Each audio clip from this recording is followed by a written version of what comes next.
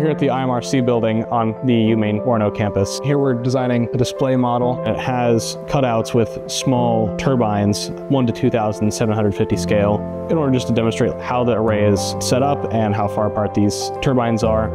I'm pretty passionate about engineering. I really like solving problems with engineering. And obviously with the energy crisis, we kind of have to navigate through different problems posed by changing not only our power supply, but vastly increasing our power demand. And so I think offshore wind is a great way to solve that. And not only that, but bring in revenue into the state.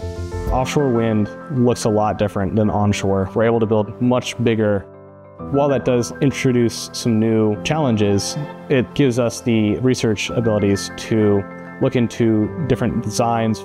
One of the big challenges we'll face is being able to construct these wind turbines on such a big scale.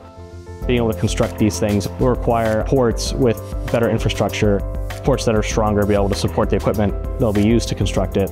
But ultimately, I think that'll help bring a lot of new jobs. So even though there are new challenges, and there are going to be even more challenges, I think being able to transmit this power in a cost-effective manner without disrupting the environment, the benefit we'll get out of solving those challenges will offset the difficulty.